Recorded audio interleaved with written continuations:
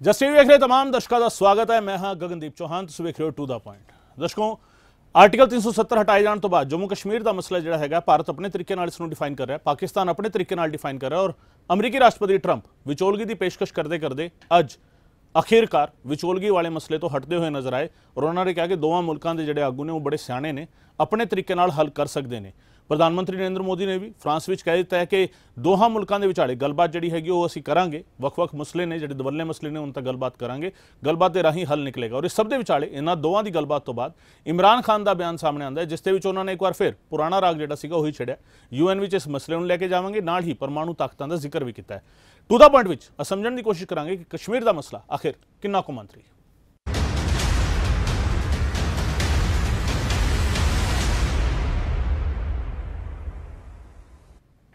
ਔਰ ਅੱਜ ਬਹਿਸ ਕਿਉਂ ਕਰ ਰਹੇ ਹਾਂ ਚਰਚਾ ਕਿਉਂ ਕਰ ਰਹੇ ਹਾਂ ਇਸ ਮੁੱਦੇ ਤੇ ਤੁਹਾਨੂੰ ਦੱਸਦੀ ਹੈ ਫਰਾਂਸ ਦੇ ਬਿਆਰਿਟਸ ਵਿੱਚ G7 ਸਮਿਟ ਦੌਰਾਨ ਮੋਦੀ ਟਰੰਪ ਦੀ ਮੀਟਿੰਗ ਹੋਈ ਸੀ ਮੀਟਿੰਗ ਤੋਂ ਬਾਅਦ ਮੋਦੀ ਟਰੰਪ ਦੇ ਬਿਆਨ ਤੋਂ ਇਮਰਾਨ ਖਾਨ ਨੂੰ ਝਟਕਾ ਲੱਗਿਆ ਦੋਵਾਂ ਆਗੂਆਂ ਨੇ ਕਸ਼ਮੀਰ ਮਸਲੇ ਤੇ ਕਿਸੇ ਵੀ ਵਿਚੋਲਗੀ ਦੀ ਲੋੜ ਤੋਂ ਨਾ ਕਰ ਦਿੱਤੀ ਹਾਲਾਂਕਿ ਟਰੰਪ ਨੇ ਕਿਹਾ ਕਿ ਉਹ ਮੌਜੂਦ ਨੇ ਜਦੋਂ ਲੋੜ ਪਈ ਤਾਂ ਸੱਦਿਆ ਜਾ ਸਕਦਾ ਪਰ ਵਿਚੋਲਗੀ ਦੀ ਕੋਈ ਗੱਲ ਨਹੀਂ ਹੋਈ ਭਾਰਤ ਪਾਕਿਸਤਾਨ ਦੇ ਕਈ ਮਸਲੇ ਦਵੱਲੇ ਨੇ ਅਸੀਂ ਗੱਲਬਾਤ ਦੇ ਰਾਹੀਂ ਹੱਲ ਕਰਾਂਗੇ ਨਰਿੰਦਰ ਮੋਦੀ ਨੇ ਕਿਹਾ ਭਾਰਤ ਪਾਕਿਸਤਾਨ ਦੇ ਆਗੂ ਸਿਆਣੇ ਨੇ ਕਸ਼ਮੀਰ ਦਾ ਹੱਲ ਕਰ ਸਕਦੇ ਨੇ ਟਰੰਪ ਨੇ ਕਿਹਾ ਔਰ ਮੋਦੀ ਟਰੰਪ ਦੇ ਬਿਆਨ ਤੋਂ ਬਾਅਦ ਇਮਰਾਨ ਨੇ ਪਾਕਿਸਤਾਨ ਨੂੰ ਸੰਬੋਧਨ ਕੀਤਾ ਇਮਰਾਨ ਖਾਨ ਨੇ ਜੋ ਕੁਝ ਕਿਹਾ ਉਹ ਆਪਣੇ ਆਪ ਵਿੱਚ ਪੁਰਾਣੀ ਗੱਲਾਂ ਜਿਹੜੀਆਂ ਸੀਗੀਆਂ ਉਹਨਾਂ ਨੂੰ ਦੁਹਰਾਇਆ। ਕਸ਼ਮੀਰ ਮੁੱਦੇ ਤੇ ਸਵਾ ਅਰਬ ਮੁਸਲਮਾਨਾਂ ਨੂੰ ਨਾਲ ਲੈ ਕੇ ਚੱਲਣ ਦੀ ਗੱਲ ਕਹੀ। ਯੂਐਨ ਵਿੱਚ ਮੁੱਦਾ ਚੁੱਕਣ ਦੀ ਗੱਲ ਦੁਹਰਾਈ, ਪਰਮਾਣੂ ਤਾਕਤ ਦਾ ਮੁੜ ਜ਼ਿਕਰ ਕੀਤਾ। ਭਾਰਤ ਸਰਕਾਰ ਦੇ ਘੱਟ ਗਿਣਤੀ ਮੰਤਰਾਲੇ ਦਾ ਵਫਦ ਜਿਹੜਾ ਹੈਗਾ ਉਹ ਮੰਗਲਵਾਰ ਨੂੰ ਕਸ਼ਮੀਰ ਦਾ ਦੌਰਾ ਕਰੇਗਾ। ਔਰ ਸਭ ਦੇ ਵਿਚਾਲੇ ਇਹ ਚਰਚਾ ਅਸੀਂ ਕਰਾਂਗੇ, ਪਰ ਉਸ ਤੋਂ ਪਹਿਲਾਂ ਬਿਆਨ ਕੀ ਕੁਝ ਦਿੱਤੇ ਨੇ ਨਾ ਆਗੂਆਂ ਨੇ? ਪ੍ਰਧਾਨ ਮੰਤਰੀ ਨਰਿੰਦਰ ਮੋਦੀ ਨੇ ਕੀ ਕਿਹਾ ਅਮਰੀਕੀ ਰਾਸ਼ਟਰਪਤੀ ਡੋਨਲਡ ਟਰੰਪ ਨੇ ਕੀ ਕਿਹਾ ਔਰ ਪਾਕਿਸਤਾਨ ਦੇ ਪ੍ਰਧਾਨ ਮੰਤਰੀ ਇਮਰਾਨ ਖਾਨ ਨੇ ਕੀ ਕਿਹਾ ਇਹ ਤੁਹਾਨੂੰ ਸੁਣਾਣੇ कई बायोलेटरल इश्यूज़ हैं। और पाकिस्तान के प्रधानमंत्री के चुनाव के बाद जब मैंने उनको टेलीफोन किया था तब मैंने उनसे कहा है कि पाकिस्तान को भी गरीबी के खिलाफ लड़ना है, भारत को भी गरीबी के खिलाफ लड़ना है, पाकिस्तान को भी अशिक्षा के खिलाफ लड़ना है, भारत को भी अशिक्षा के खिलाफ लड़ना है, पाकिस्तान को भी बीमारी के खिलाफ लड़ना है, भारत को भी बीमारी के खिलाफ लड़ना है। हम दोनों देश मिलकर के गरीबी के खिलाफ लड़ें हमारी असुविधाओं के खिलाफ लड़ें और हम मिलकर के दोनों देश की आवाम की भलाई के लिए काम करें ये संदेश मैंने पाकिस्तान के प्रधानमंत्री जी को भी दिया है Well, we spoke last night about Kashmir, and uh, the Prime Minister really feels he has it under control. I know they they speak with Pakistan, and I'm sure that they will be able to do something that will be very good. We spoke about it last night at Gorilla. ये अगर मसला जंग की तरफ चला गया तो याद रखें कि न्यूक्लियर हथियार हैं दोनों मुल्कों के पास और जो न्यूक्लियर जंग है वो कोई भी नहीं जीतेगा लेकिन ये नहीं कि यहां भी तबाही मचेगी ये दुनिया के ऊपर इसके असर जाएंगे ਤੇ ਸਭ ਦੇ ਵਿਚਾਲੇ ਸਵਾਲ ਇੱਕੋ ਪੁੱਛਾਂਗੇ ਫਰਾਂਸ ਵਿੱਚ ਟਰੰਪ ਤੇ ਮੋਦੀ ਦੇ ਮੀਟਿੰਗ ਤੋਂ ਬਾਅਦ ਇਮਰਾਨ ਦਾ ਕਸ਼ਮੀਰ ਤੇ ਕੀ ਰੁਖ ਹੈ? ਕਿਹੜਾ ਰੁਖ ਸਾਹਮਣੇ ਆਉਂਦਾ ਹੈ? ਇਸ ਸਵਾਲ ਦਾ ਜਵਾਬ ਲੱਭਣ ਦੀ ਕੋਸ਼ਿਸ਼ ਕਰਾਂਗੇ। ਖਾਸ ਪੈਨਲ ਸਾਡੇ ਨਾਲ ਮੌਜੂਦ ਹੈ ਉਸ ਦੇ ਨਾਲ ਥੋੜਾ ਤਾਰਫ ਕਰਵਾ ਨੇ। ਸਾਡੇ ਨਾਲ ਹਮੀਰ ਸਿੰਘ ਸਾਹਿਬ ਸੀਨੀਅਰ ਜਰਨਲਿਸਟ ਨੇ ਸਾਡੇ ਨਾਲ ਮੌਜੂਦ ਨੇ। ਹਮੀਰ ਸਿੰਘ ਜੀ ਬਹੁਤ ਬਹੁਤ ਸਵਾਗਤ ਹੈ। ਮਨਦੀਪ ਸਿੰਘ ਬਾਜਵਾ ਸਾਹਿਬ ਸਾਡੇ ਨਾਲ ਮੌਜੂਦ ਨੇ ਡਿਫੈਂਸ ਐਕਸਪਰਟ ਡਿਫੈਂਸ ਜਰਨਲਿਸਟ ਨੇ। ਬਾਜਵਾ ਸਾਹਿਬ ਤੁਹਾਡਾ ਬਹੁਤ ਬਹੁਤ ਸਵਾਗਤ ਹੈ। ਸਾਡੇ ਨਾਲ ਗੁਰਪ੍ਰੀਤ ਸਿੰਘ ਢਿੱਲੋਂ ਸਾਹਿਬ ਬੀਜੇਪੀ ਤੋਂ ਮੌਜੂਦ ਨੇ। ਢਿੱਲੋਂ ਸਾਹਿਬ ਬਹੁਤ ਬਹੁਤ ਸਵਾਗਤ ਹੈ ਤੁਹਾਡਾ ਇਸ ਚਰਚਾ ਦੇ ਵਿੱਚ। ਕਰਨਲ ਵਿਪਨ ਪਾਠਕ ਸਾਡੇ ਨਾਲ ਡਿਫੈਂਸ ਐਕਸਪਰਟ ਵਜੋਂ ਮੌਜੂਦ ਨੇ। ਕਰਨਲ ਪਾਠਕ ਤੁਹਾਡਾ ਬਹੁਤ ਬਹੁਤ ਸਵਾਗਤ ਹੈ ਇਸ ਚਰਚਾ ਦੇ ਵਿੱਚ। ਸਭ ਤੋਂ ਪਹਿਲਾਂ ਗੁਰਪ੍ਰੀਤ ਸਿੰਘ ਢਿੱਲੋਂ ਜੀ। ਪ੍ਰਧਾਨ ਮੰਤਰੀ ਤਕਰੀਬਨ ਤਕਰੀਬਨ ਜਦੋਂ ਦੇ ਵਿਦੇਸ਼ ਦੌਰੇ ਤੇ ਨੇ, ਇੱਕ ਅਹਿਮ ਬਿਆਨ ਜਿਹੜਾ ਸੀਗਾ ਕੁਝ ਦਿਨ ਪਹਿਲਾਂ ਜਿਹੜਾ ਸਾਹਮਣੇ ਆਇਆ ਸੀ, ਪ੍ਰਧਾਨ ਮੰਤਰੀ ਨੇ ਕਿਹਾ ਸੀ ਮੁਲਕ ਵਿੱਚ ਕੁਝ ਵੀ ਟੈਂਪਰੇਰੀ ਨਹੀਂ ਹੈ। ਹੁਣ ਜਿਹੜਾ ਇਹ ਬਿਆਨ ਦਿੱਤਾ, ਇਹ ਟੈਂਪਰੇਰੀ ਹੈ ਜਾਂ ਪਰਮਾਨੈਂਟ ਹੈ? ਦੇਖੋ ਕੁਝ ਦਿਨ ਪਹਿਲਾਂ ਟਰੰਪ ਸਾਹਿਬ ਦਾ ਇੱਕ ਬਿਆਨ ਆਇਆ ਸੀਗਾ ਆਪਣੇ ਇਸੇ ਚੈਨਲ ਦੇ ਉੱਤੇ ਆਪਾਂ ਚਰਚਾ ਵਿਚਾਰ ਚਰਚਾ ਕਰ ਰਹੇ ਸੀ ਬੈਠੇ ਕਿ ਟਰੰਪ ਸਾਹਿਬ ਨੇ ਕਹਿਤਾ ਕਿ ਦੇਖੋ ਜੀ ਪਾਕਿਸਤਾਨ ਤੇ ਜਿਹੜਾ ਜੋ ਕੁਝ ਵੀ ਹਿੰਦੁਸਤਾਨ ਚ ਹੋ ਰਿਹਾ ਹੈ ਇਹ ਮੁਸਲਮਾਨ ਔਰ ਹਿੰਦੂ ਬਨਾਮ ਹੈਗਾ। ਤੇ ਇੱਕ ਬਹੁਤ ਵੱਡੀ ਚਰਚਾ ਇੱਥੇ ਛਿੜ ਗਈ ਸੀਗੀ ਕਿ ਟਰੰਪ ਸਾਹਿਬ ਕਹਿ ਰਹੇ ਸੀ ਕਿ ਮੈਂ ਵਿੱਚ ਵਿਚੋਲਗਿਰੀ ਕਰਨ ਲਈ ਮੇਰਾ ਤਿਆਰ ਸਵਾਲ ਹਾਂ, ਮੋਦੀ ਜੀ ਦਾ ਬਿਆਨ ਮੋਦੀ ਜੀ ਦਾ ਬਿਆਨ ਟੈਂਪਰੇਰੀ ਹੈ ਪਰਮਾਨੈਂਟ ਬਿਲਕੁਲ ਪਰਮਾਨੈਂਟ ਹੈ। ਮੋਦੀ ਜੀ ਪਹਿਲੇ ਦਿਨ ਤੋਂ ਸਪਸ਼ਟ ਨੇ ਕਲੀਅਰ ਨੇ ਕਿ ਜਿਹੜਾ ਸਾਡੇ ਇਸ਼ੂਜ਼ ਨੇ ਬਾਇਲੈਟਰਲ ਇਸ਼ੂ ਹੈ। ਇਹਦੇ ਵਿੱਚ ਦੋ ਪੱਖੀ ਗੱਲ ਹੀ ਹੋਏਗੀ ਤੀਜੇ ਬੰਦੇ ਦੀ ਤੀਜੀ ਧਿਰ ਦੀ? ਕੋਈ ਸਥਾਨ ਨਹੀਂ ਹੈਗਾ। ਸਵਾਲ ਇਹ ਗੱਲ ਹੋਏਗੀ। ਗੱਲ ਬਣ ਕਰਨ ਦਾ ਜਦੋਂ ਮਾਹੌਲ ਬਣੇਗਾ ਉਦੋਂ ਗੱਲ ਵੀ ਹੋਏਗੀ। ਪਹਿਲਾਂ ਮਾਹੌਲ ਬਣੇ ਅੱਤਵਾਦ ਨੂੰ ਖਤਮ ਕਰੇ ਪਾਕਿਸਤਾਨ। ਜਿਹੜੀਆਂ ਸਾਡੇ ਨਾਲ ਬਿਨਾਂ ਵਜ੍ਹਾ ਤੋਂ ਇੱਧਰ ਅੱਤਵਾਦੀ ਗਤੀਵਿਧੀਆਂ ਉਹਦੇ ਉਧਰ ਚੱਲ ਰਹੀਆਂ ਨੇ ਔਰ ਇੱਧਰ ਨੂੰ ਭੇਜਦਾ ਹੈ ਇੰਡੀਆ ਵੱਲ ਨੂੰ ਉਹਨੂੰ ਜਦੋਂ ਬੰਦ ਕਰ ਦੇਗਾ ਉਦੋਂ ਸਾਡੀ ਗੱਲ ਵੀ ਹੋ ਜਾਏਗੀ। ਮਨਦੀਪ ਬਾਜਵਾ ਇਹ ਇਹ ਜਿਹੜਾ ਸਿਨੈਰੀਓ ਇਸ ਦੇ ਵਿੱਚ ਗੱਲ ਦਾ ਮਾਹੌਲ ਬਣਦਾ ਹੋਇਆ ਨਜ਼ਰ ਆਉਂਦਾ ਗੱਲਬਾਤ ਦਾ ਮਾਹੌਲ ਬਣਦਾ ਨਜ਼ਰ ਆਉਂਦਾ ਵੇਖੋ ਜੀ ਮੈਂ ਮੇਰੀ ਜੋ ਆਪਣੀ ਜ਼ਿਆਤੀ رائے ਹੈ ਉਹ ਹੈ ਕਿ ਪਾਕਿਸਤਾਨ ਨਾਲ ਤੁਸੀਂ ਕਦੀ ਗੱਲ ਕਰ ਨਹੀਂ ਸਕਦੇ ਉਹਨਾਂ ਨੇ ਤੁਹਾਡੇ ਮੁਲਕ ਦੇ ਵਿੱਚ ਅੱਤਵਾਦੀ ਅ, ਵੱਖਵਾਦੀ ਅ, ਹਮਲਾਵਰ ਇਹ ਭੇਜਦੇ ਰਹਿਣੇ ਆ ਇਹ ਉਦੋਂ ਹੀ ਹੋ ਸਕਦਾ ਹੈ ਮ- ਮੁਮਕਿਨ ਕਿ ਇਹਨਾਂ ਨਾਲ ਕੋਈ ਸੁਲਹ ਸਫਾਈ ਹੋਏ ਜਦੋਂ ਉਹਨਾਂ ਨੂੰ ਵੀ ਨੁਕਸਾਨ ਹੋਏ ਪੂਰੀ ਤਰ੍ਹਾਂ ਹੁਣ 71 ਦੇ ਵਿੱਚ ਇਹ ਹਿੰਦੁਸਤਾਨ ਨੇ ਪਾਕਿਸਤਾਨ ਨੂੰ ਦੋ ਫੜ ਕਰਕੇ ਤੇ ਬੰਗਲਾਦੇਸ਼ ਬਣਾਇਆ। ਆਏ ਨਾ ਫਿਰ ਇੱਥੇ ਬਸ ਗੱਲਬਾਤ ਕਰਨ ਵਾਸਤੇ। ਸੋ ਇਸ ਤਰ੍ਹਾਂ ਔਰ ਮੈਂ ਤੁਹਾਨੂੰ ਦੱਸਾਂ ਜੀ, ਇਹ ਮਿਸਿਸ ਇੰਦਰਾ ਗਾਂਧੀ ਦੀ ਇੱਕ ਥਿਉਰੀ ਹੁੰਦੀ ਸੀ ਕਿ ਹਰ ਦਸ਼ਕ ਦੇ ਵਿੱਚ ਪਾਕਿਸਤਾਨ ਹਿੰਦੁਸਤਾਨ ਵਾਸਤੇ ਮਸਲਾ ਖੜਾ ਕਰੇਗਾ। ਔਰ ਉਹਦਾ ਹੱਲ ਉਹਦੇ ਕੋਲ ਸੀਗਾ ਮਿਸ ਗਾਂਧੀ ਕੋਲ ਕਿ ਵੀ ਉਹਦਾ ਪਾਕਿਸਤਾਨ ਦਾ ਹਮਲਾ ਹੋਣ ਤੋਂ ਪਹਿਲਾਂ ਹੀ ਉਹਨਾਂ ਦੇ ਉੱਤੇ ਹਮਲਾ ਕਰ ਦਿਓ ਉਹ ਜਦੋਂ ਇਹ ਕੀ ਕਹਿੰਦੇ ਨੇ ਬੰਗਲਾਦੇਸ਼ ਇਹ ਉਦੋਂ ਆਪਣਾ ਪੂਰਬੀ ਪਾਕਿਸਤਾਨ ਸੀ। ਤੇ ਉਦੋਂ ਉਥੇ ਉਹਨਾਂ ਨੇ ਕ੍ਰੈਕਡਾਊਨ ਕੀਤਾ ਉੱਥੇ ਲੜਾਈ ਛੜੀ ਉੱਥੇ ਉਹਦੇ ਲੋਕੀ ਆਪਣਾ ਬੇਗੁਨਾਹ ਨੂੰ ਮਾਰਨ ਲੱਗੇ ਬਲਾਤਕਾਰ ਹੁੰਦਾ ਹੋਣ ਲੱਗਿਆ। ਜਿਹੜੇ ਸ਼ਰਨਾਰਥੀ ਉਹਨਾਂ ਨੇ ਸਾਡੇ ਵੱਲ ਤੱਕਣੇ ਸ਼ੁਰੂ ਕਰ ਦਿੱਤੇ।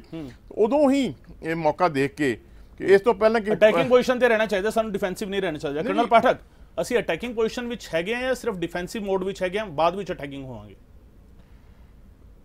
नहीं इसमें तो आ, मेरे को तो ये समझ में नहीं आ रहा ये अटैकिंग और डिफेंसिव कोई पोजीशन तो होती नहीं है। हम्म। जैसे बाय नेचर ऐसी की है? अटैकिंग आगे डिफेंसिव आर्मी के अभी देखिए हमारा तो चेंज हो गया है नहीं हम्म। तो अभी भी हम लोग जनरली ऑफेंसिव डिफेंस में बिलीव करते हैं। हम्म। अगर हमारी आप स्ट्रेटेजी देखिए कोल्ड स्टार्ट स्ट्रेटेजी थी और अब हमारे चीफ साहब ने वो आई एफ़ बीज बनाई हुई है जो रीस्ट्रक्चरिंग जो कर रहे हैं।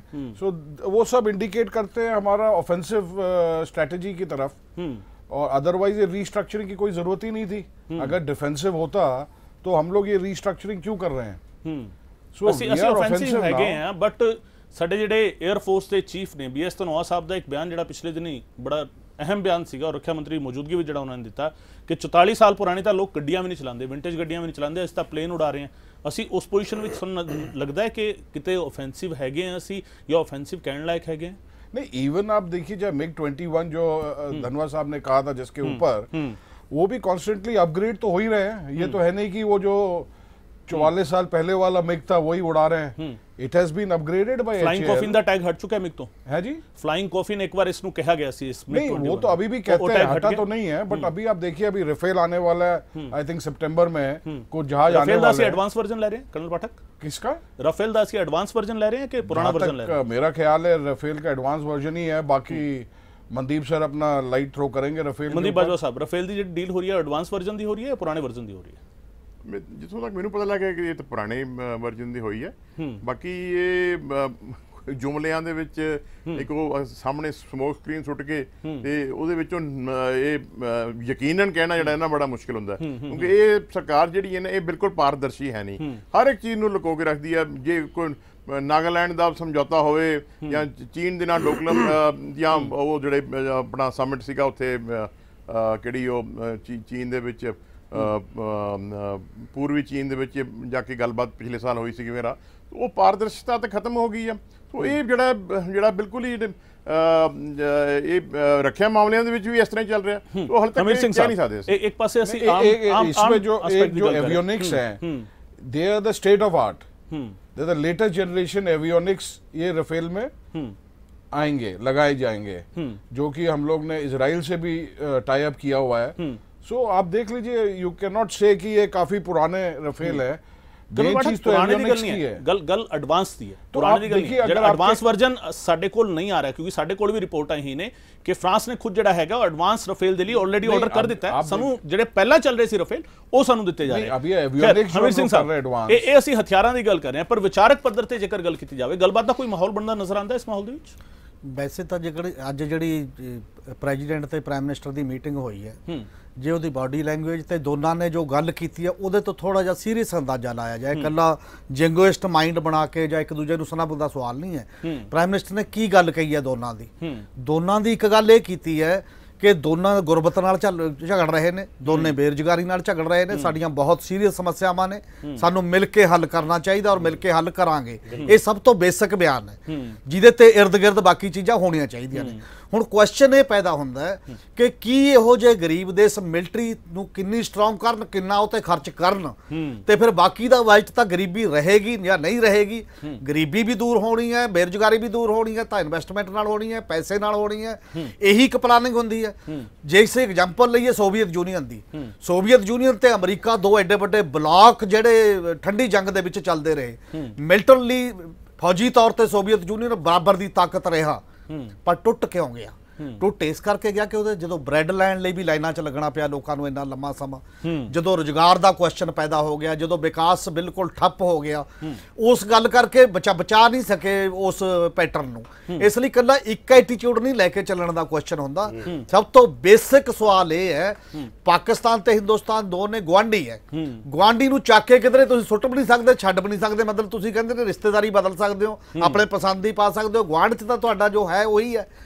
ਔਰ ਜਿਹੜੀ ਵੀ ਤੇ ਪਰ ਪਰ ਹਮੀਰ ਸਿੰਘ ਸਾਹਿਬ ਜਿਹੜੀ ਵੀ ਤੇ ਜ਼ਿਆਦਾ ਮਜ਼ਬੂਤ ਹੁੰਦੀ ਹੈ ਸਾਰੀ ਗੱਲਬਾਤ ਤੋਂ ਬਾਅਦ ਜਦੋਂ ਸਾਡੇ ਪੀਐਮ ਕਹਿੰਦੇ ਜਦੋਂ ਤੁਸੀਂ ਇਹ ਹੋ, ਕਰਾਂਗੇ ਗੱਲਬਾਤ ਨਾਲ ਕਰਾਂਗੇ। ਮੁਲਕ ਦਾ ਪੀਐਮ ਇਹ ਕਹਿੰਦਾ ਹੈ ਕਿ ਅਸੀਂ ਇਸ ਮੁੱਦੇ ਨੂੰ ਯੂਐਨ ਵਿੱਚ ਲੈ ਕੇ ਜਾਵਾਂਗੇ ਸਵਾ ਅਰਬ ਮੁਸਲਮਾਨ। ਜਿਹੜੇ ਨੇ ਇਸ ਮੁੱਦੇ ਤੇ ਰੋਜ਼ ਬਾਹਰ ਨਿਕਲਣੇ ਚਾਹੀਦੇ ਨੇ ਜੁਮੇ ਦੇ ਦਿਨ। ਬਾਹਰ ਨਿਕਲਣੇ ਚਾਹੀਦੇ ਨੇ ਫਿਰ ਗੱਲ ਇਹ ਹੁੰਦੀ ਹੈ ਕਿ ਦੋਵੇਂ ਪਰਮਾਣੂ ਤਾਕਤ ਦੇ ਨਾਲ ਲੈਸ ਨੇ ਜੇ ਫਿਰ ਗੱਲਬਾਤ ਆ ਕਿੱਥੇ ਨਜ਼ਰ ਜੇ ਆਏਗੀ ਤਾਂ ਅਸੀਂ ਇਸ ਤਰ੍ਹਾਂ ਗੱਲ ਕਰਾਂਗੇ ਇੱਕ ਜੇ ਗੱਲ ਕਰਾਂਗੇ ਜਸਟਿਸ ਦੀ ਓਵਰਆਲ ਕੀ ਸਿਚੁਏਸ਼ਨ ਹੈ ਔਰ ਬਾਜਵਾ ਸਾਹਿਬ ਨੇ ਕਿਹਾ ਕਿ ਜੀ ਅਸੀਂ ਜਿਹੜਾ ਪੂਰਬੀ ਪਾਕਿਸਤਾਨ ਸੀ ਉਹਦਾ ਬੰਗਲਾਦੇਸ਼ ਬਣਵਾਇਆ।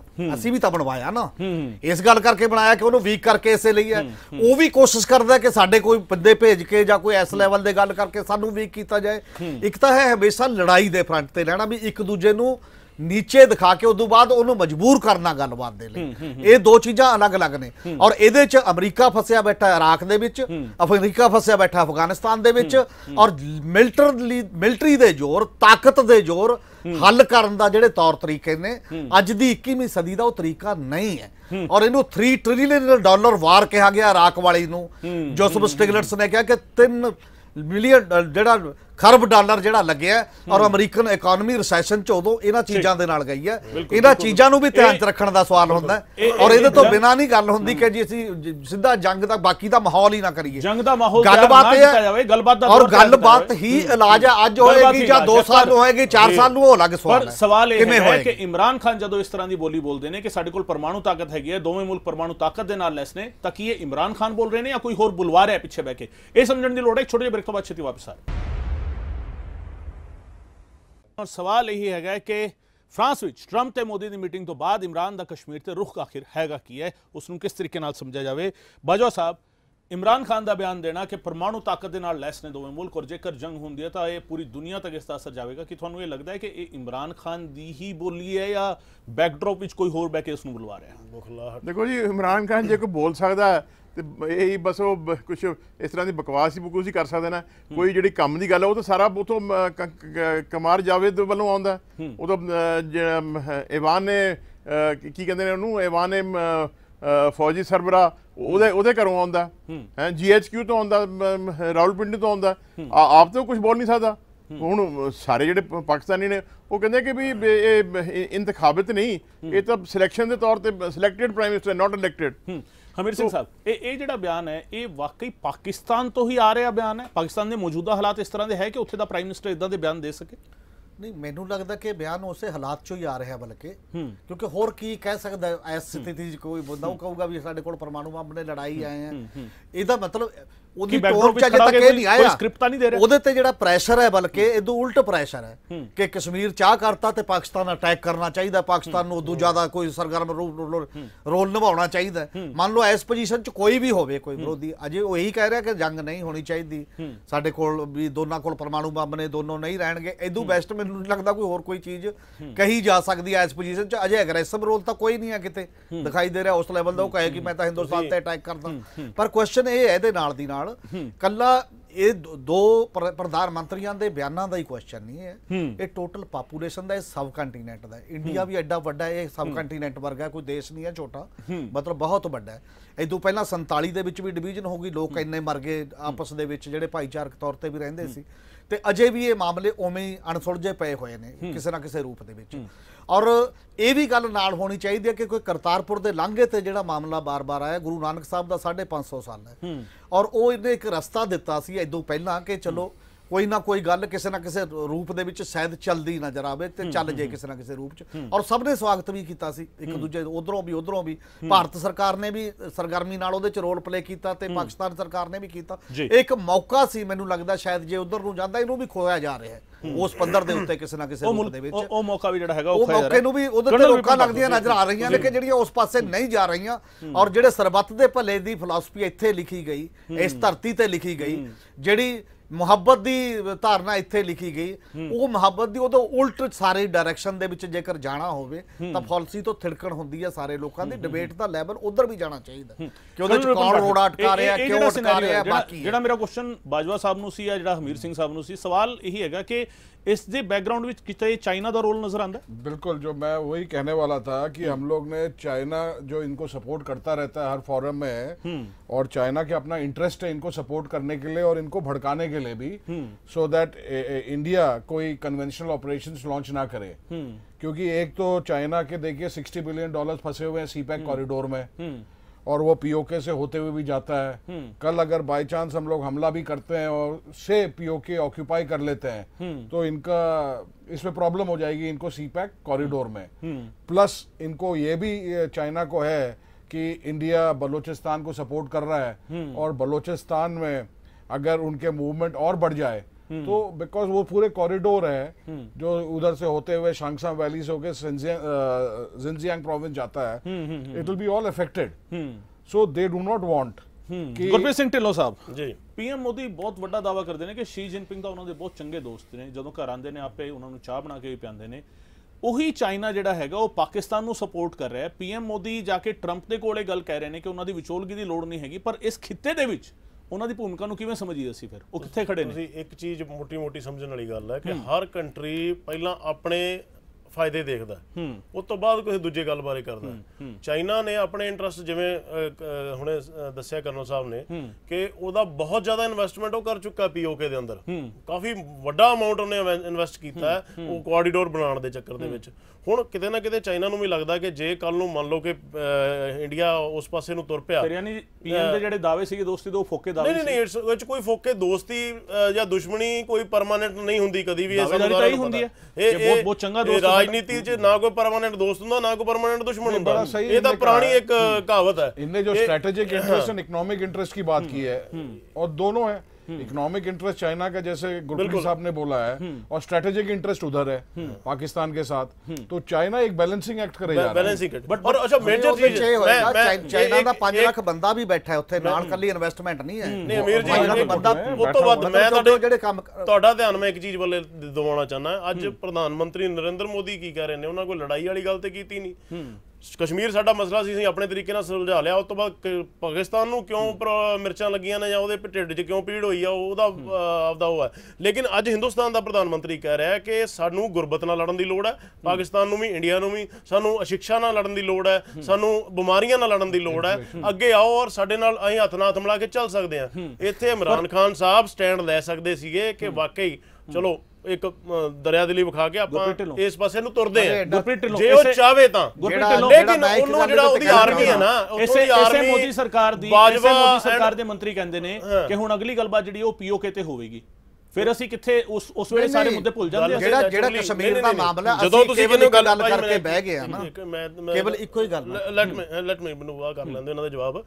ਕਿ ਗੱਲਬਾਤ ਦੀ ਜਿੱਥੋਂ ਗੱਲ ਆਈ ਸੀਗੀ ਕਿ ਗੱਲਬਾਤ ਹੋਏਗੀ ਤੇ ਗੱਲਬਾਤ ਤਾਂ ਨੇਚਰਲੀ ਇਸ ਇਸ਼ੂ ਤੇ ਤਾਂ ਕੋਈ ਗੱਲਬਾਤ ਹੋਣ ਵਾਲੀ ਹੈ ਹੀ ਨਹੀਂਗੀ ਕਿਉਂਕਿ ਸਾਡਾ ਆਪਣਾ ਕਸ਼ਮੀਰ ਸਾਡੀ 370 ਹਟਾਈਏ ਨਾ ਲਾਈਏ ਮੇਰੇ ਘਰ ਦੇ ਕਿਹੜੇ ਕਮਰੇ 'ਚ ਮੈਂ ਕਿਹੜਾ ਪੇਂਟ ਕਰਾਉਣਾ ਮੇਰੀ ਮਰਜ਼ੀ ਹੈ। ਇਹਦੇ ਨਾਲ ਸਾਨੂੰ ਗਵਾਂਢੀਆਂ ਨੂੰ ਪੁੱਛਣ ਜਾਣ ਦੀ ਲੋੜ ਨਹੀਂ ਕਿਹੜੀ ਟਾਈਲ ਲਾਉਣੀ ਹੈ ਕੀ ਕਰਨਾ। ਪਰ ਇਹ ਬਿਆਨ ਦੇਣਾ ਕਿੰਨਾ ਜਾਇਜ਼ ਹੈਗਾ ਕਿ ਅਸੀਂ ਸਿੱਧਾ ਪੀਓਕੇ ਤੇ ਗੱਲ ਕਰਾਂਗੇ। ਜੀ ਜੇ ਗੱਲ ਹੋਏਗੀ ਤਾਂ ਜਿਹੜਾ ਪਾਕਿਸਤਾਨ ਨੇ ਕਬਜ਼ਾ ਕੀਤਾ ਹੋਇਆ ਉਹਦੇ ਬਾਰੇ ਗੱਲ ਹੋਏਗੀ ਇਹਦੇ 'ਚ ਕੋਈ ਦੋ ਰਾਏ ਹੈ ਉਸ ਵੇਲੇ ਇਹ ਜਿਹੜੀ ਗਰੀਬੀ ਦੇ ਚਾਹੀਦੀ ਹੈ। ਮੁ- ਜਿਹੜੀ ਮੁਫਲਿਸੀ ਦੇ ਮੁੱਦੇ ਹੈਗੇ ਆ ਉਹ ਸਾਨੂੰ ਦਿਖਣੇ ਬੰਦ ਹੋ ਜਾਂਦੇ ਆ ਜਾਂ ਸਿਰਫ ਅਸੀਂ ਆਪਣੀ ਸਿਆਸਤ ਦੇ ਲਈ ਉਸਨੇ ਮੁਫਲਸੀ target ਦੇ ਮੁੱਦੇ ਸਾਰੇ ਦਿਸਦੇ ਨੇ ਸਾਰਾ ਪ੍ਰਧਾਨ ਮੰਤਰੀ ਸਾਹਿਬ ਨੇ ਪਹਿਲਾਂ ਹੀ ਕਿਹਾ ਸੀਗਾ ਜਦੋਂ ਬਣਦੇ ਉਹਦੇ ਉਹਨਾਂ ਨੂੰ ਵਧਾਈ ਦਿੱਤੀ ਸੀ ਵੀ ਆ ਕੇ ਆਓ ਆਪਾਂ ਦੋਨੋਂ ਇਹਦੇ ਖਿਲਾਫ ਲੜਦੇ ਆਂ।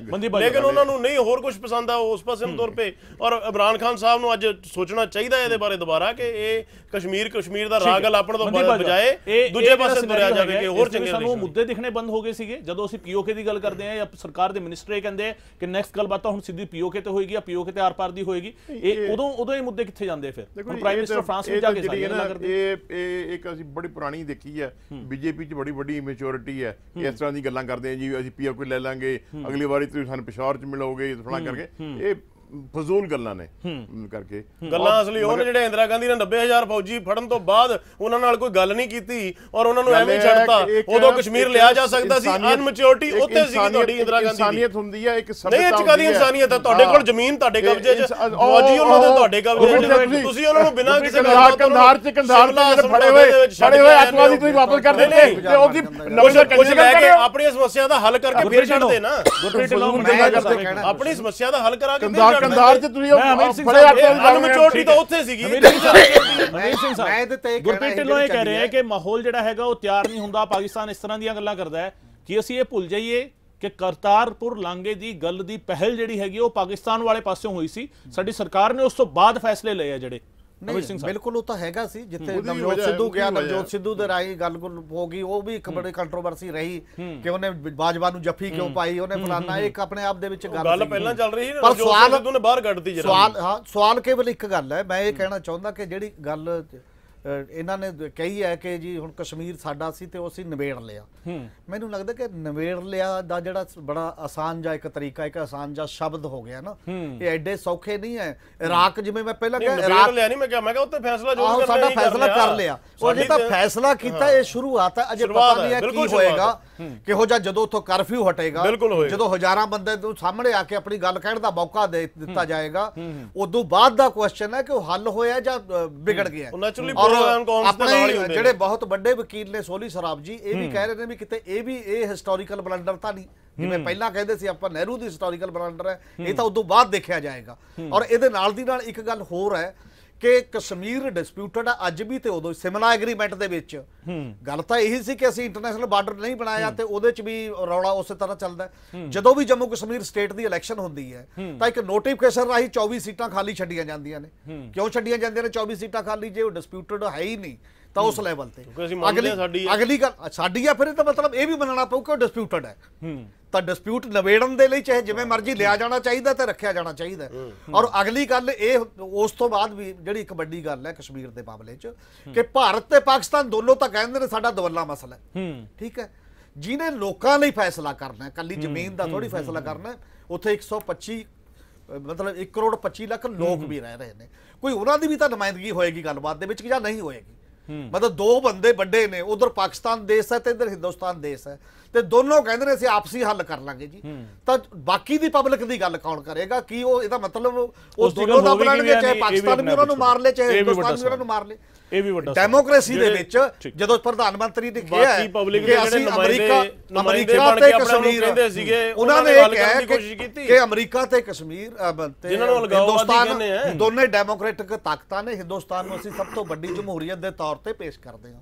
ਜਮਹੂਰੀ ਤੌਰ ਤਰੀਕੇ ਦੇ ਵਿੱਚ ਤਾਂ ਇਹ ਹੁੰਦਾ ਕਿ ਹਰ ਇੱਕ ਦੀ ਗੱਲ ਸੁਣੀ ਜਾਣੀ ਸੁਣ ਕੇ ਰੱਖੀ ਗੱਲ ਬਿਲਕੁਲ ਠੀਕ ਹੈ। ਕਸ਼ਮੀਰ ਨੂੰ ਅਸੀਂ ਕਿ ਮੈਂ ਇੱਕ ਛੋਟਾ। ਇੱਕ ਛੋਟਾ ਜਿਹਾ ਬ੍ਰੇਕ ਲੈ ਲਵਾਂ ਬ੍ਰੇਕ ਤੋਂ ਬਾਅਦ ਮੈਂ ਵਾਪਸ ਆ ਰਿਹਾ ਸੀ ਇਸੇ ਮੁੱਦੇ ਤੇ ਆਵਾਂਗੇ ਕਸ਼ਮੀਰ ਨੂੰ ਅਸੀਂ ਮੰਨ ਕੇ ਕੀ ਚੱਲ ਰਹੇ ਹਾਂ? ਕੀ ਸਿਰਫ ਇੱਕ ਜ਼ਮੀਨ ਦਾ ਟੁਕੜਾ ਅਸੀਂ ਮੰਨ ਲਿਆ ਜਾਂ ਉੱਥੇ ਦੇ ਲੋਕਾਂ ਨੂੰ ਵੀ ਅਸੀਂ ਇੰਕਲੂਡ ਕਰਕੇ ਉਹਨਾਂ ਦੀ ਗੱਲ ਕਰ ਰਹੇ ਹਾਂ? ਇਸ ਮਸਲੇ ਤੇ ਵਾਪਸ ਆਵਾਂਗੇ ਛੋਟੇ ਜਿਹੇ ਬ੍ਰੇਕ ਤੋਂ ਬਾਅਦ।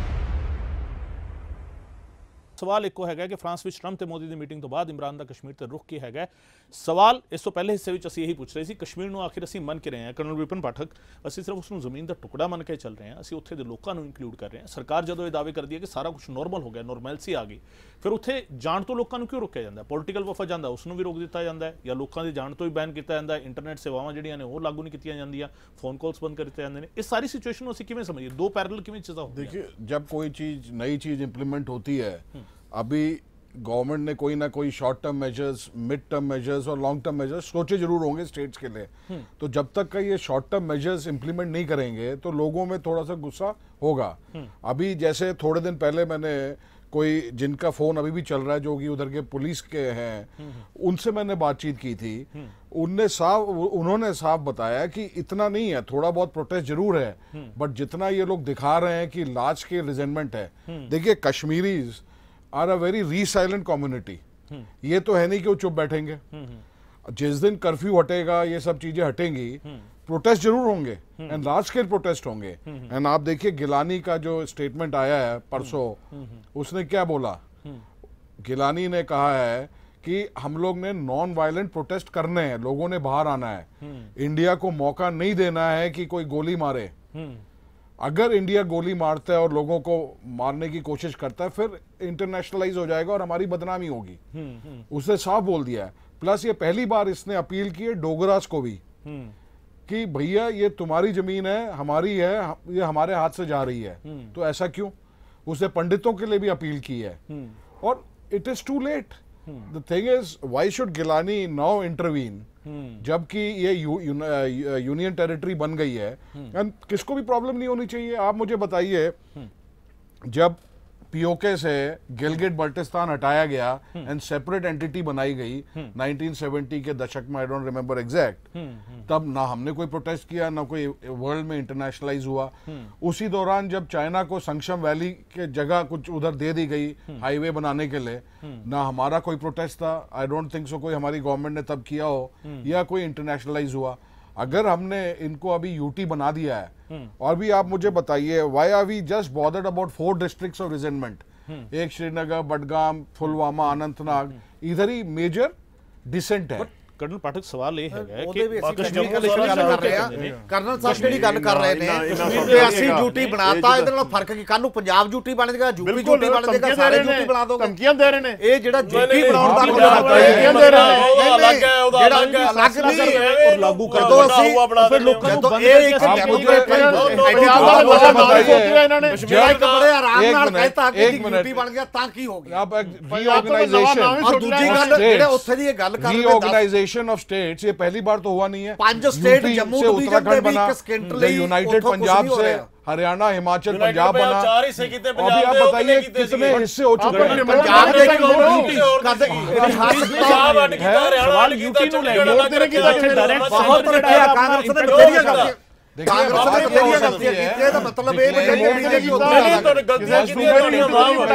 ਦੇ पंजाब ड्यूटी और ਕਰਦੇ पंजाब ਇਤਿਹਾਸ ਅੱਡ ਕੀਤਾ ਹਰਿਆਣਾ ਸਵਾਲ ਅੱਡ ਯੂਟੀ ਕੀਤਾ ਨੂੰ ਲੈ ਚੰਡੀਗੜ੍ਹ ਕੇ ਅੱਡ ਕੀਤਾ ਇੱਥੇ direct ਬਹੁਤ ਜਿਹੜਾ ਰੱਖਿਆ ਆਪਣਾ ਕਾਂਗਰਸ ਨੇ impact ਬਥੇਰੀਆਂ ਹੋਏਗਾ। ਗਲਤੀਆਂ ਕਾਂਗਰਸ ਨੇ ਬਥੇਰੀਆਂ ਗਲਤੀਆਂ ਕੀਤੀਆਂ ਇਹਦਾ ਮਤਲਬ ਇਹ ਨਹੀਂ ਕਿ ਮੋਦੀ ਨੇ ਕੀ ਨਹੀਂ ਨਹੀਂ ਤੁਹਾਡੇ ਗਲਤੀਆਂ ਕਿਹਦੀਆਂ ਤੁਹਾਡੀਆਂ ਮਾਫ ਹੈ It must be a माफ नहीं temporary हो सकता। ਗੱਲ ਸੁਣੋ ਉਹਨਾਂ ਦੀ ਗੱਲ ਸੁਣੋ ਕਰਨਲ ਸਾਹਿਬ टेम्पररी ਕੀ मेजर हो कहना सकता है मे बी आफ्टर ईयर और टू जब हमारे शॉर्ट टर्म मेजर्स वहाँ शुरू हो गया एम्प्लॉयमेंट हेल्थ मैनेजमेंट दुनिया भर की चीजें शुरू हो गई एंड जो डिसेंट है लोगों का वो कम होना शुरू हुआ और- तब maybe they converted back into a state ਮੈਂ ਇੱਕ ਸਾਹਿਬ, ਫੈਕਚੁਅਲ ਬਾਜਵਾ ਗੱਲ ਸਾਹਿਬ। ਅਲੱਗ ਕਰਨਾ ਚਾਹੁੰਦਾ ਜੰਮੂ ਕਸ਼ਮੀਰ ਇੱਕ ਸਟੇਟ ਹੈ ਜੇਕਰ ਤੁਸੀਂ ਫੈਕਟ ਦੀ ਗੱਲ ਕਰਦੇ ਹੋ ਜਿੱਥੇ ਕੋਈ ਝੂਗੀ ਨਹੀਂ ਹੈ ਜਿੱਥੇ ਹਰ ਕੋਲ ਚਾਹੇ ਦੋ ਕਨਾਲ ਜ਼ਮੀਨ ਹੈ ਚਾਹੇ ਇੱਕ ਹੈ ਜ਼ਮੀਨ ਹੈ ਕਿਉਂਕਿ ਉੱਥੇ ਲੈਂਡ ਰਿਪੋਰ ਬਹੁਤ ਪਹਿਲਾਂ ਹੋਏ ਨੇ ਬਹੁਤ ਪੁਰਾਣੇ नहीं ਹੋਏ आप ਹੋਏ ਨੇ। दमाना के पास ਇੱਕ ਵੀ जाइए नहीं जो है। पंडित रहते हैं बाकी- आपने देखा झोपड़े में रह रहे हैं ਆਪ ਦਮਾਨਾ ਗਏ ਹੈ ਕਦੀ ਆਪ ਦਮਾਨਾ ਜਾਈਏ? ਉਹ ਹੁਣ ਦੀ ਪ੍ਰੋਬਲਮ ਹੈ ਜਦੋਂ ਉਹਨਾਂ ਨੂੰ ਚਾਹ ਕੇ ਕੱਢ ਦਿੱਤਾ ਇਸ ਨਾਲ ਹੁੰਦਾ ਨਾ। ਕੇ ਬਾਅਦ ਮੈਂ ਇਹ ਗੱਲ ਕਰਦਾ ਕਿ ਉੱਥੇ ਇਹ ਹੈ ਸੈਕੰਡ ਗੱਲ 6 ਤੋਂ 7 ਲੱਖ ਯੂਪੀ ਤੇ ਬਿਹਾਰ ਤੋਂ ਜਾ ਕੇ ਬੰਦਾ ਉੱਥੇ ਗੱਲ ਕਰ ਰਿਹਾ।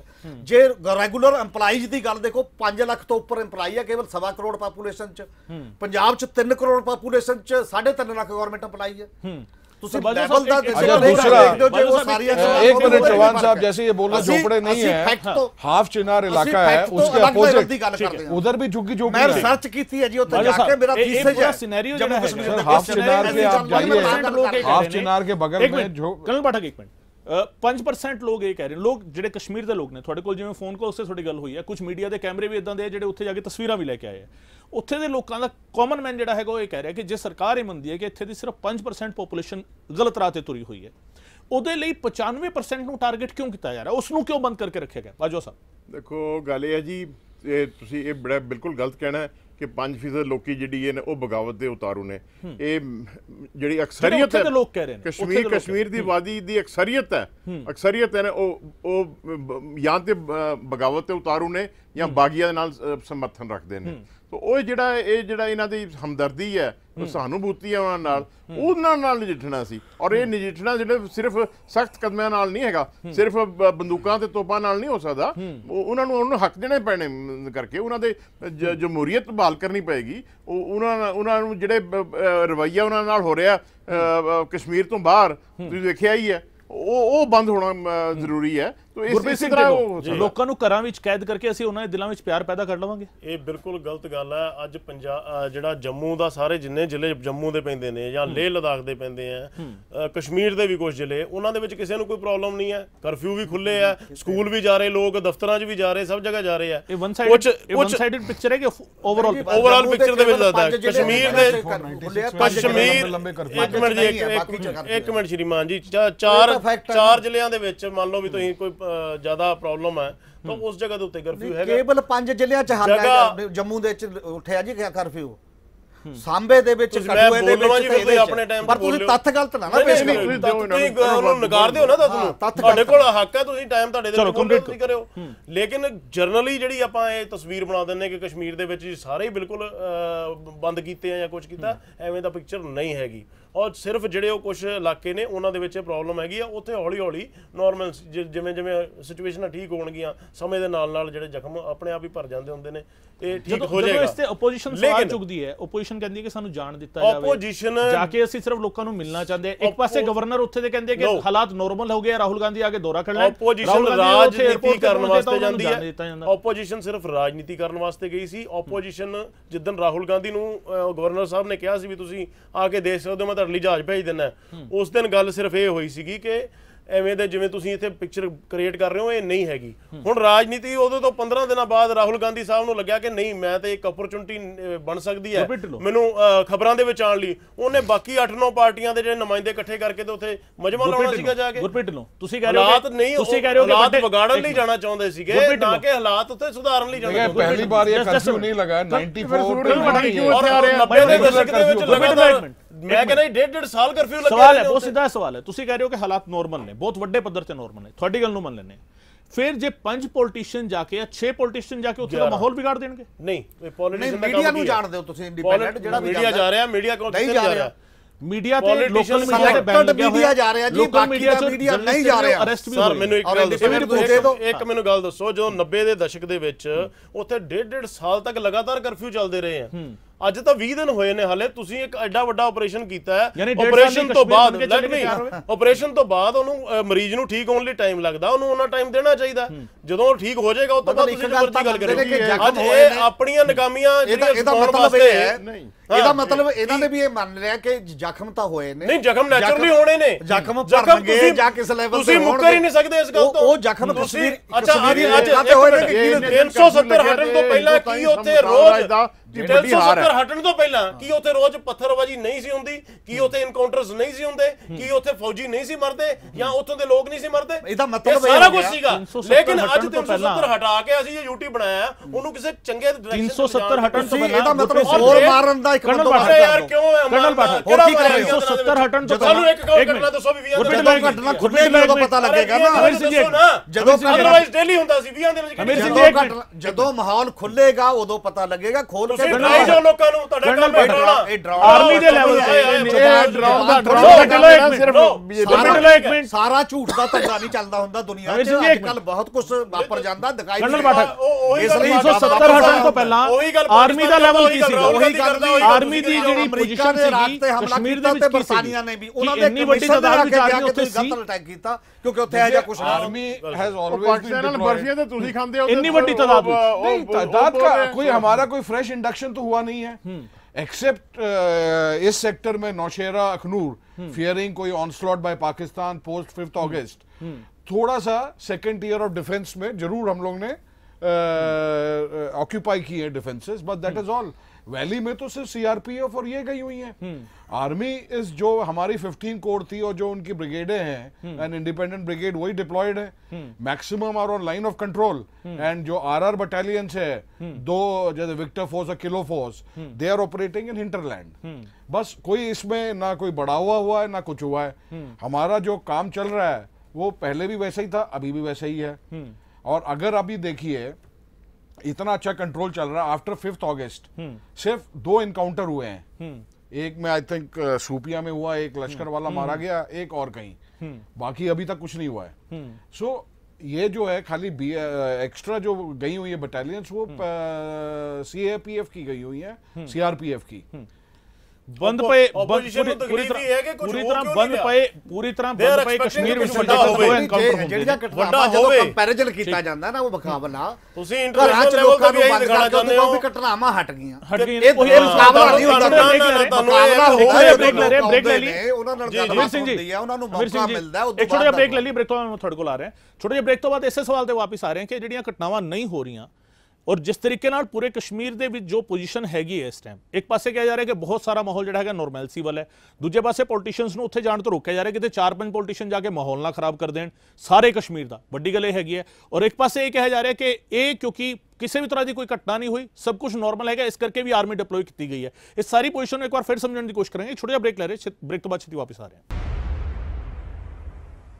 ਸਵਾਲ ਇੱਕੋ ਪੁੱਛ ਰਹੇ ਹਾਂ ਕਿ ਫਰਾਂਸ ਵਿੱਚ ਟਰੰਪ ਤੇ ਮੋਦੀ ਦੀ ਮੀਟਿੰਗ ਤੋਂ ਬਾਅਦ ਇਮਰਾਨ ਦਾ ਕਸ਼ਮੀਰ ਤੇ ਰੁਖ ਆਖਿਰ ਹੈਗਾ ਕੀ ਹੈ ਜਿਸ ਰੁਖ ਦੇ ਵਿੱਚ ਉਹ ਯੂਐਨ ਵਿੱਚ ਜਾਣ ਦੀ ਗੱਲ ਕਰ ਰਿਹਾ ਜਿਸ ਦੇ ਵਿੱਚ ਉਹ ਪਰਮਾਣੂ ਮੁੱਦੇ ਦੀ ਗੱਲ ਕਰ ਰਿਹਾ ਪਰਮਾਣੂ ਤਾਕਤ ਦੀ ਗੱਲ ਕਰ ਰਿਹਾ ਜਿਸ ਸਵਾਲ ਤੇ ਅਸੀਂ ਗੱਲ ਛੱਡੀ ਸੀਗੀ ਕਰਨਲ ਪਾਠਕ ਸ਼ੁਰੂਆਤ ਤੁਹਾਡੇ ਤੋਂ ਪਾਕਿਸਤਾਨ ਦੇ ਇਸ ਐਟੀਟਿਊਡ ਨੂੰ ਅਸੀਂ ਕਿਵੇਂ ਸਮਝੀਏ ਕਦੇ ਉਹ ਯੂਐਨ ਜਾਣ ਦੀ ਗੱਲ ਕਰ ਰਿਹਾ ਹੈ ਕਦੇ ਉਹ ਪਰਮਾਣੂ ਦੀ ਗੱਲ ਕਰ ਰਿਹਾ ਹੈ ਔਰ ਬਾਕੀ ਦੁਨੀਆ ਜਿਹੜੀ ਹੈਗੀ ਉਹ ਉਸ ਦੇ ਨਾਲ ਖੜੀ ਹੁੰਦੀ ਨਜ਼ਰ ਨਹੀਂ ਆ ਰਹੀ ਹੁਣ ਇਸ ਵਕਤ देखिए पाकिस्तान में आप जैसे अभी आपसे बात कर रहा था ब्रेक में इमरान खान पीटीआई जो भी पॉलिटिकल पार्टीज़ इन पावर है उनने भी अपनी कॉन्स्टिट्यूंसी को एड्रेस तो करना ही है। नहीं तो वो बोलेंगे आप कुछ नहीं कर रहे हैं। सेकेंडली उनका इकोनॉमी बिल्कुल ही डोलड्रम्स में है। तो कहीं ना कहीं तो वो डाइवर्ट करना चाहेगा ना। मतलब लोगों को बताना चाहेगा। तीसरा वो मतलब अपने आप को देखिए पाकिस्तान जो भी बोलता है वो कभी करेगा नहीं। They have two option covert and overt covert आपको मैंने बता दिए पाँच छह जो इनने बोले हम करेंगे। अभी अवर्ट जो है वो ज़रूर शुरू करेंगे वो लोग जो अपने स्लीपर सेल्स हैं उनको एक्टिवेट कर देंगे इंडिया में। फिर उसके बाद एरे ऑफ़ मिलिटेंट ग्रुप्स को बहुत मिलिटेंट ग्रुप्स को मतलब वो लोग अपना शुरू कर दे रहे हैं। अभी कई थे जो तंजीमें थी मर्ज हो गई थी। अभी उनको धीरे धीरे सेपरेट करके अलग अलग नॉमन क्लेचर से दोबारा भेजे करेंगे। और तीसरी बात उन्होंने तालिबान और आईएस के नुमाइंदे भी अलकायदा से भी बातचीत चल रही है उनकी उनको यहाँ भेजने के लिए। बट प्रॉब्लम आ रही भेजे कहाँ से कहाँ से घुसे? बिकॉज़ बॉर्डर में इट इज़ टोटली विजिलेंट इस टाइम बट कितने दिन हम कर सकते हैं वो नहीं पता। बट अभी प्रेजेंटली ज़रूर है। एंड नवंबर तक अगर हम सक्सीड कर लेते हैं उसके बाद तो टिल मार्च मुश्किल होगा बिकॉज़ बर्फ़ बर्फ़ से एरिया ढक जाएगा और उसमें डिडक्शन बड़ा आसान हो जाता है बिकॉज़ ऑफ़ द फुटप्रिंट्स अभी जो पाकिस्तान का है इसने सिर्फ़ यही करना है और जो ये बोलता है हम इंटरनेशनल कोर्ट ऑफ़ जस्टिस जाएँगे इधर जाएँगे उधर जाएँगे। जहाँ तक मेरा ख्याल है इनके जो चीफ हैं ये काफ़ी रैशनल आदमी है। I don't know whether Mandeep sir will agree or not but general Bajwa seems logical and rational because उनने हिंदुस्तान काफी के हिंदुस्तान के मामले में कोई भी पाकिस्तानी रैशनल नहीं चलो नहीं भी हो खास करके सकता फौजी है बट अभी कन्वेंशनल वॉर के लिए उनकी वो- इकोनॉमी वांट सस्टेन ਨਹੀਂ ਹੀ wants to but build our and economy and on ਇੱਕ ਕੁਐਸਚਨ ਹੋਰ ਤੁਹਾਡੇ ਕੋਲੋਂ ਇਹ ਇਹ ਜਿਹੜਾ ਜਨਰਲ ਬਾਜਵਾ ਨੂੰ ਐਕਸਟੈਂਸ਼ਨ ਵੀ ਦਿੱਤਾ ਗਿਆ ਹੈ ਕਿ ਇਸ ਦਾ ਵੀ ਇਸ ਪੂਰੀ ਸਿਚੁਏਸ਼ਨ ਦੇ ਨਾਲ ਡਾਇਰੈਕਟ ਜਾਂ ਇਨਡਾਇਰੈਕਟ ਲਿੰਕ ਨਜ਼ਰ ਆਉਂਦਾ ਹੈ ਨਹੀਂ ਜਾਂ ਪਾਕਿਸਤਾਨ ਅਹ, ਦੇਖੋ ਜੀ ਵਿੱਚ ਉਹ ਤਾਂ ਉਹਨੇ ਲੈਣੀ ਸੀਗੀ ਉਹ ਹਾਲਾਤ ਹੀ ਬ- ਇਸ ਇਹੋ ਜਿਹੇ ਉਹਨੇ ਬਣਾਏ ਤਾਂ ਕਿ ਉਹਨੂੰ ਐਕਸਟੈਂਸ਼ਨ ਮਿਲ ਜਾਏ ਜੀ ਉਹ ਇੱਕ ਵਾਰੀ ਜਿਹੜਾ ਬ- ਮ- ਆਪ- ਆਪਣਾ ਘੋੜੇ ਚੜ ਗਿਆ ਹੁਣ ਉਤਰਦਾ ਕਿੱਥੇ ਹੈ ਹਾਂਜੀ ਸੋ ਉਹ ਗੱਲ ਹੈ ਉਹ ਤਾਂ ਚਲੋ ਬ- ਰਹੀਲ ਸ਼ਰੀਫ ਸੀਗਾ ਕਿ ਚਲਾ ਗਿਆ ਵਗੈਰਾ ਨਹੀਂ ਤਾਂ ਇਹ ਤਾਂ ਕੋਈ ਵੀ ਨਹੀਂ नहीं, मानता। अभी भी और और dissent हो देखो सकता है। और देखो क्योंकि अब 24 ਉਹਦਾ- जनरलों को ਉਹਦਾ supersede ਹੁਕਮਰਾਨ किया है, है, मतलब अभी। ਹੁਕਮਰਾਨ ਹੈ ਹਰ ਪਾਸੇ ਹੁਕਮਰਾਨ ਹੈ। ਉਹਦੇ ਬੁੱਤ ਲੱਗੇ ਨੇ ਉਹਦੇ ਤੇ ਵੱਡੀ ਵੱਡੇ ਪੋਸਟਰ ਲੱਗੇ ਨੇ ਉਹਦੇ ਤੇ ਕਸੀਦੇ ਲਿਖੇ ਜਾ ਰਹੇ ਨੇ ਤੇ ਉਹ ਤੇ ਆਪਣਾ ਦੁਆਵਾਂ ਮੰਗੀ ਜਾ ਰਹੀਆਂ ਉਹਦੇ ਵਾਸਤੇ। ਤੇ- ਉਹ ਤੇ ਜਿਹੜਾ ਇਮਰਾਨ ਖਾਨ ਤੇ ਉਹਦੇ ਉਹਦੇ ਉਹਦੀ ਜੇਬ 'ਚ ਹੈ। ਸੋ ਉਹ ਐਕਸਟੈਂਸ਼ਨ ਲੈਣੇ ਉਹਦੇ ਵਾਸਤੇ ਤੇ ਕੋਈ ਔਖਾ ਨਹੀਂ। वो तो चलो वो हालात तो आखिर की देखिए अक्टूबर के पहले पाकिस्तान कुछ नहीं करेगा बिकॉज़ एफ़ ने अपनी रिपोर्ट देनी है। अगर ये ब्लैक लिस्ट हो गए तो इनको जो छह बिलियन डॉलर्स आईएमएफ ने देना वो भी नहीं मिलेगा। हाँ।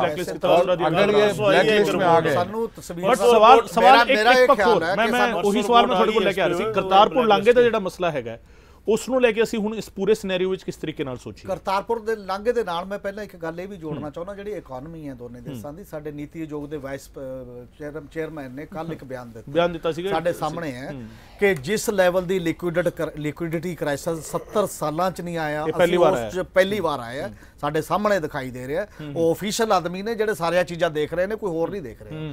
ਔਰ ਅਨਪਲਾਈਮੈਂਟ ਦਾ ਸਿਸਟਮ ਸਾਡੇ ਹੈ ਪੰਜਾਬ ਚੋਂ ਤਾਂ ਸਾਰੇ ਹੀ ਬੱਚੇ ਜਿਹੜਾ ਪਲੱਸ 2 ਕਰਦਾ ਉਹ ਬਾਹਰ ਦੌੜ ਰਿਹਾ। ਸਾਰੀ ਦੁਨੀਆ ਦੁਨੀਆ 'ਚ ਇਹ ਸਾਰੀਆਂ। ਚੀਜ਼ਾਂ ਨੇ Recession ਦੁਨੀਆ ਸਾਰੀ ਕਹਿ ਕੇ ਕੰਮ ਸਰ, ਆਪਣਾ ਵੀ ਆਉਣਾ ਮੈਨੂੰ ਹੀ ਆ। ਬੋਲਣ ਦੁਨੀਆ ਕਹਿ ਕੇ ਨਹੀਂ ਚੱਲੇਗਾ ਕੰਮ ਅੱਜ ਦੀ ਗੱਲ ਨਹੀਂ ਹੈ ਜਿਹੜੀ ਗੱਲ ਜੀ, ਦੂਜੇ ਨਾਲ 2008 ਸੇ ਮੇਰੀ ਇੱਕ ਗੱਲ- ਨਹੀਂ ਨਹੀਂ ਇਹਦਾ ਕੋਈ ਮਤਲਬ ਨਹੀਂ ਹੈ ਇਸ ਮੁਲਕ ਨੂੰ ਇਹਦਾ ਬਚਾਇਆ ਕੋਈ ਸੀਗਾ। ਮਤਲਬ ਨਹੀਂ ਜਾਂ ਤਾਂ ਤੱਤ ਤੇ ਗੱਲ ਕਰੋ ਤੇ ਬੋਲਣ ਸਰਕਲ ਦਿਓ। 10 ਸਾਲ ਨਹੀਂ ਤਾਂ ਕੋਈ ਮਤਲਬ ਨਹੀਂ ਮੈਂ ਇਹ ਗੱਲ ਕਰ ਰਿਹਾ ਕਿ ਜਿਹੜਾ ਜਦੋਂ ਇਕਨੋਮੀ ਦਾ ਕ੍ਰਾਈਸਿਸ ਹੈ ਜਿਹੜਾ ਇਮਰਾਨ ਖਾਨ ਬਾਰੇ ਦੱਸੋ ਉਹ ਸਾਡੇ ਖੁਦ ਆਪਦੇ ਉਹਦੇ ਤੇ ਤੁਸੀਂ ਬਹੁਤ ਦੱਸ ਰਹੇ ਹੋ ਮੈਨੂੰ ਵੀ ਇੱਕ ਦੂਜਾ ਐਂਗਲ ਰੱਖਣ ਦਿਓ ਨਾ। ਨਹੀਂ ਅੱਜ ਬਾਕੀ ਦਾ- ਗੱਲਾਂ ਮੈਂ ਅੱਜ ਤੁਹਾਡੇ ਵਾਲੀ ਕਹਾਂ ਜ਼ਰੂਰੀ ਦਾ ਨਹੀਂ. ਅੱਜ ਦੀ ਬਹਿਸ ਦਾ ਵਿਸ਼ਾ ਹੈ।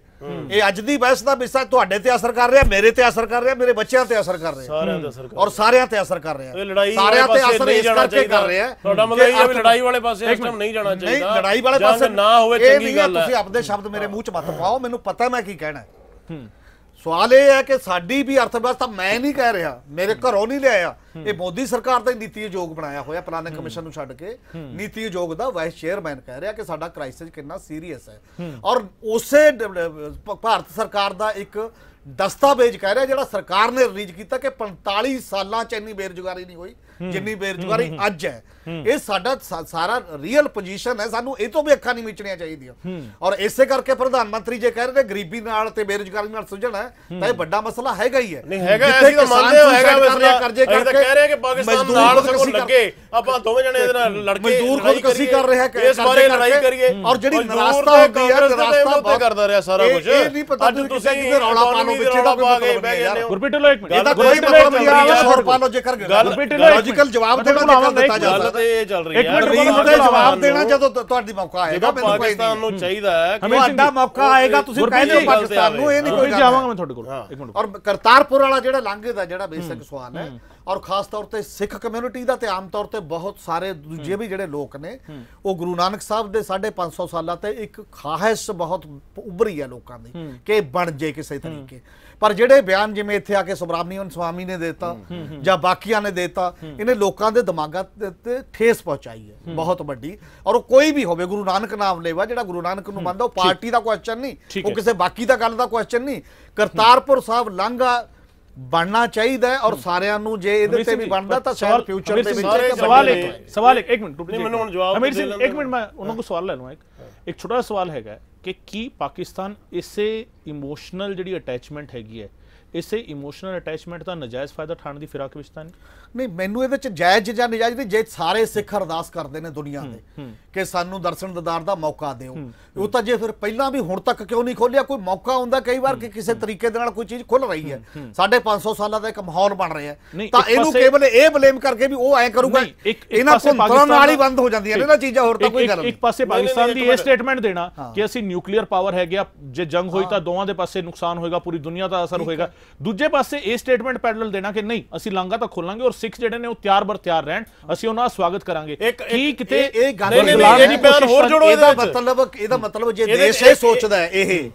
ਕਿ ਸਿੱਖ ਇੰਨੇ ਨਾਲ ਹੀ ਪਤਾ ਨਹੀਂ ਦੇਸ਼ ਵਿਰੋਧੀ ਹੋ ਜਾਂਦਾ ਹੈ। ਇਹ ਬਹੁਤ ਗਲਤ ਇਹ ਆਪਣੇ ਕੋਲ ਇਹ ਤੁਸੀਂ ਜੋੜੀ ਜਾਂਦੇ ਨਹੀਂ ਹੋ। ਹੈ। ਇੱਕ ਮਿੰਟ ਮੈਂ ਤੁਹਾਨੂੰ ਕੋਈ। ਫ਼ਰਕ ਨਹੀਂ ਹੈ। ਇਹ ਕਿੱਥੋਂ ਆਈ ਕਿ ਸੀ ਪਾਕਿਸਤਾਨ ਦੀ? ਮਨਸ਼ਾ ਕੀ ਪਾਕਿਸਤਾਨ ਵਾਲਾ ਹੈ? ਰੋਲ ਇੱਕ ਅਲੱਗ ਹੈ। ਇੱਕ ਇੱਕ ਗੱਲ ਪਾਕਿਸਤਾਨ ਦੇ ਰੋਲ ਤੇ ਹੀ ਹਾਂ, ਹੈ ਸਵਾਲ ਵਾਲਾ ਰੋਲ ਤੇ ਹੀ ਹੈ, ਲਾਂਘੇ ਵਾਲਾ ਰੋਲ ਇੱਕ ਅਲੱਗ ਹੈ। ਪਰ ਇਹ ਗੱਲ ਜ਼ਰੂਰ ਹੈ ਕਿ ਜਦੋਂ ਪਰਸੋਂ ਸਬਰਾਮਨੀ ਯਾਦ ਕਰਦੇ? ਸਟੇਟਮੈਂਟ ਦੇ ਰਹੇ ਨੇ ਤਾਂ ਇਹਦੇ ਨਾਲ ਇਹ ਜ਼ਰੂਰ ਮੈਸੇਜ ਜਾਂਦਾ ਹੈ? ਇਹਦੇ ਤੇ ਬੋਲਣਾ ਚਾਹੀਦਾ ਸਰਕਾਰ ਨੂੰ ਤੇ ਬੀਜੇਪੀ ਨੂੰ ਵੀ ਕਿ ਸਵਾਮੀ ਦੇ ਬਿਆਨ ਨਾਲ ਅਸੀਂ ਨਹੀਂ ਆ ਸਹਿਮਤ।